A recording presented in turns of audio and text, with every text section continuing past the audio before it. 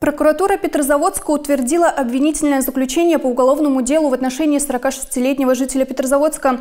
19 сентября прошлого года ночью на перекрестке улиц Шотмана и Милентьевой водитель джипа на скорости не менее 142 км в час сбил двух женщин, которые переходили улицу на красный сигнал светофора.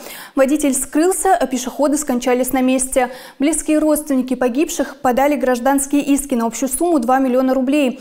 Во время расследования уголовного дела Обвиняемый частично признал вину и сообщил, что готов возместить причиненный ущерб. Мужчине грозит до 15 лет колонии. Дело будет рассматривать городской суд.